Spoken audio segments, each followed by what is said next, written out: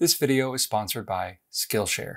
Hey everyone, I am super excited for today's video. I'm going to be talking about several of the best waxes for candle makers. Well, let me rephrase that. I shouldn't say best because it all depends what you're going for. I will say some of my favorite waxes for candle making. Now, I do want to start with a couple disclaimers or caveats. To begin with, this is my current list of favorites today. However, it is subject to change. I feel like I have tested like a hundred waxes on the market uh, but I'm always getting new ones. Manufacturers and suppliers are always sending me new ones to test out and give feedback on. And so this could change easily in a month or six months and certainly by next year. So I will try to keep doing these type of videos to keep you updated on what my favorite or new current favorite waxes are. The other disclaimer is that I'm only focusing on waxes that are common and have easy access to you fellow candle makers. Mostly to beginner candle makers, small, medium-sized companies. I'm not gonna be talking about ones that are proprietary or only sold direct by manufacturer. I'm talking mostly about waxes that most viewers and subscribers here on this channel would have easy access to. And then lastly, even though I have tested a ton of waxes in my candle making career, I'm not going to include ones that I just don't have a ton of information on or that I don't have a lot of experience with. Because if I haven't had a ton of experience for testing with them, then I can't really give you honest, confident feedback. So this list is my current personal favorites that I would recommend either new, beginner, or even intermediate candle makers to consider trying if they haven't already. All right, let's get to it. Hi everyone, my name is Wade, the owner of Black Tie Barn, and here on this channel we talk about making candles, selling candles, running a business, tutorials, demonstrations, how-tos, tips and tricks, really the works. So if any of that interests you, we'd love to have you for future videos, and of course to check out past videos. Please consider subscribing below to the channel. It is free, so we'd love to have you around and if you like this video at the end or at any point, feel free to give it a thumbs up as well. I would appreciate it. All right, let's get to the list.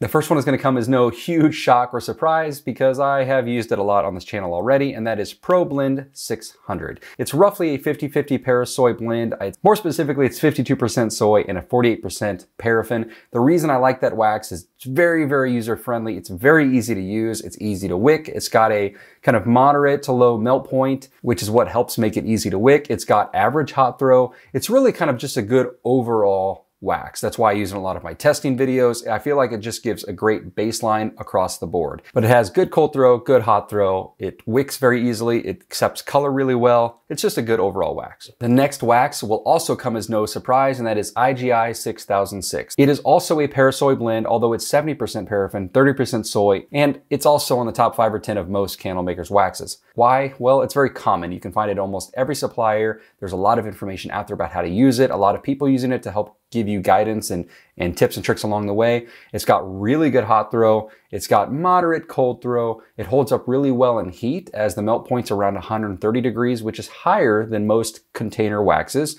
Uh, and so it does hold up a little bit better in summer heat and summer shipping. It takes color very well and gives you nice, good, vibrant colors if that's what you're looking for.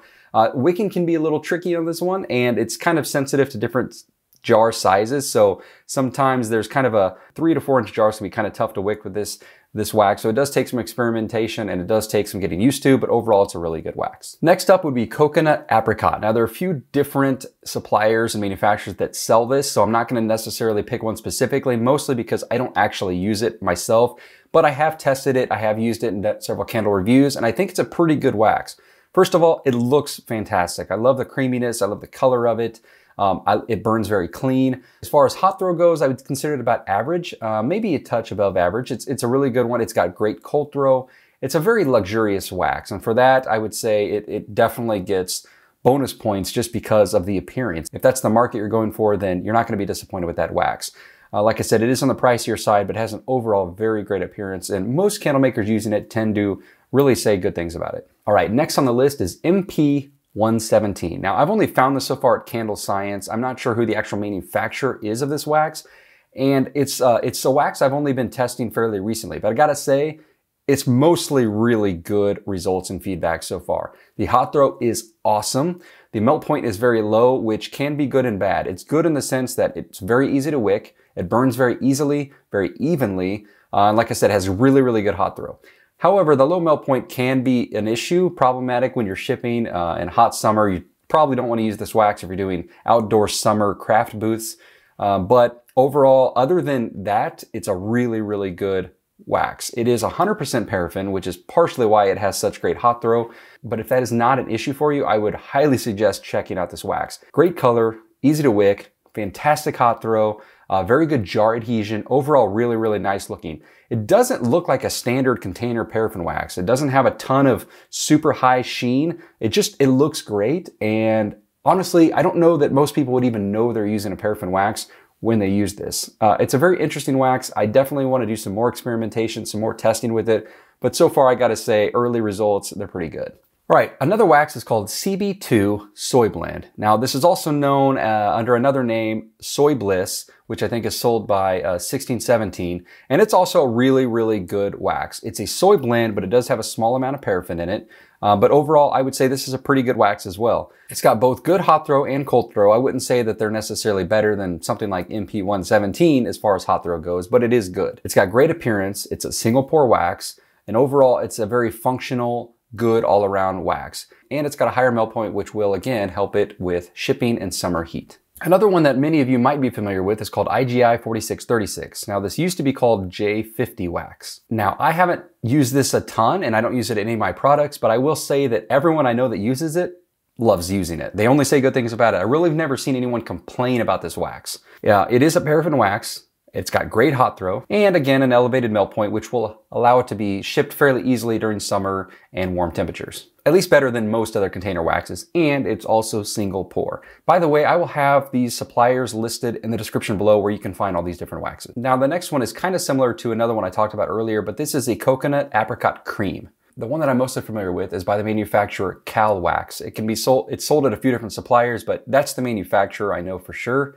It's clean burning, it's biodegradable, it's natural, and it's not the only one on this list that does meet that. So if you're looking for that all natural or vegan wax and that's your target market, well, this wax will meet those parameters. It's easy to use, it's a single pour wax as well, and it's got a bright white color. It's got a nice slow even burn, it's got great jar adhesion as well. In my experience, it's had really good hot throw and cold throw. It's made from a blended coconut wax and a minuscule amount of FDA approved food grade paraffin, mostly for stability. Before we continue, a brief moment to tell you about Skillshare, who is sponsoring this portion of today's video. Skillshare is an online learning community and a great place to learn new skills and to get inspired. With thousands of online classes, there is so much content for you to choose from. And if you're anything like me, then there's never enough. Whether it's another craft, running a business, branding and marketing, personal finance, the list goes on. I jump in on classes pretty routinely. In fact, a recent class I took was called Brand Strategy, Build a Business That Lasts by Mark Pollard. In an industry like candle making, or really honestly any industry these days, branding is so important. You've got to market your business. You want to find a nice way to settle into the industry, but more importantly, a way to stand out and then build brand loyalty to keep customers coming back to you. So really, I love learning as much as I possibly can about branding and marketing and running a business. I just, I love that kind of content. I think it's really, really important. And one of my personal favorite things about Skillshare in general is that you can do all of this ad free so you can just stay focused. No distractions, just stay focused on the content. And if you need a break, uh, you're going on a trip or you just need to just hit pause and hit the reset button, you can do that and come back to the class at any time right where you left off. So it's just a great online learning platform and I would definitely suggest you check it out. So I would encourage you to check out Skillshare in the description below. The first 1,000 people to use that link will get a free one month trial of Skillshare. All right, on to the next wax. Next on the list is AccuSoy 10 or AccuBlend. Many of you might know this as Soy 10. It's also sold by many suppliers. Now this is another soy blend wax, but again, it does have a minuscule amount of uh, food grade paraffin, which is very common for soy blends. Most soy waxes do have a little bit of paraffin in it. One of the major benefits of this wax though, uh, compared to other soy blends is that it has a slightly higher melt point, somewhere in the 120 to 130 degree range, which is a little above average for soy waxes, which does mean it can hold up a little bit better to shipping in high summer heat or doing outdoor events in the summer. It does have okay jar adhesion. Sometimes it's good, sometimes it's not. Uh, it, it, just kind of depends on your vessel. And, and to be fair, that applies to most of these waxes on this list as well. I would say it has average hot throw, but it has has good, consistent color, and I would say it's an overall consistent performing wax as well. All right, next is IGI 4627. Now, anyone that's ever used this wax will probably tell you that there's just no beating the hot throw. And in my experience, I would say the same thing. I don't think the hot throw can be matched by any other wax that at least I've ever used. It is a all paraffin wax. It's a very, very soft, almost like a Vaseline texture. So it can be kind of difficult to use and get out of the, out of the bag. Uh, but once you get used to using it and you have a process, then, uh, then, then it's fine. I wouldn't use, uh, I wouldn't use that as a reason not to use it. It just takes getting used to. But the hot throw on this is just ridiculous. It's incredible. It can be kind of tricky to wick this, uh, being the type of, it's a very, very viscous paraffin wax. It can be tough to wick and, and get the wick down right so you're not having any kind of performance or burn issues but it's got to be on this list for the hot throw alone. It's just impossible to leave off this list. Next on this list is a cocoa soy wax, and it goes by several names. You might know it as VCS or Calwax or EC26, but again, it is a coconut soy blend wax. You can find it from a few different suppliers as well uh, under those different names. It's also clean burning, biodegradable natural wax. It's a single pour, very easy to use wax. It's got a nice slow even burn with really good jar adhesion, again, at least in my experience. And this one is made from soy, coconut, and also a minuscule amount of food grade paraffin. Now, I know that's 10, but I've got a bonus, and I feel like it's an honorable mention that has to be on this list. And that is AAK 464 or 454. And I'm actually gonna put them both on this list because I don't know which one I prefer over the other. And I'm gonna explain why I have it on this list, even though I don't use a ton of it. If you're looking for an all natural, an all soy or soy coconut blend, then this has to be on the list for a couple reasons. One, you can find it a lot of different places. There's a lot of people using it. So you, again, you can get a lot of feedback and constructive tips on how to use this wax best. And you're just looking for something straightforward. It doesn't have a lot of crazy ingredients blended into it. Then you could definitely look at 464 or 454. 464 is the all soy wax. 454 is a soy coconut blend, and they're both sold by AAK. Now, these waxes are the ones you will typically see have some kind of like funky tops and weird resets after the candle is burned and then rehardens. And if you don't mind those kind of funky looking ashy or crater tops and that doesn't bother you, then definitely check these waxes out. If you are someone that that drives nuts, then, you know, stay away from these waxes because you can fix it temporarily, but they almost always come back so this really just, it just depends on you. There are a lot of people that just love this wax. They start with it from day one as a beginner and they just use it for their entire career and they're perfectly happy with it. Now, I personally prefer the 454 a little bit over 464, but that's just a personal preference. I do wish the hot throw was better on both of them. Uh, I would say that the 464 is a little easier to wick, but the 454 has a slightly better hot throw. Either way, I don't use a ton of these waxes in my products, but I feel like it has to be on this list. It's a wax that so many beginners start with. And like I said, there's a ton of information out there that can help you using these waxes. So they just, it has to be an honorable mention at the very least. All right, guys, I know this was a quick rundown of uh, 10 plus waxes that I think are great waxes to use, whether you're a beginner, intermediate, or even someone that's been running a candle business for several years. And as a reminder, these are based off several factors that I care about. And it depends on when you ask me. You ask me again in a month, then some of these might change. But as of today, these are 10 plus waxes that I would recommend checking out if you haven't used them already. I'm super curious though, for all of you watching, let me know in the comments which of these waxes you use and which of them you really, really like and prefer. Or if you're really not sure, which of these you might be interested in trying next. Don't forget to check out Skillshare. Remember, the first thousand people to use the link in the description below will get one month free trial of Skillshare. Thank you all for watching, and I'll see you all next time.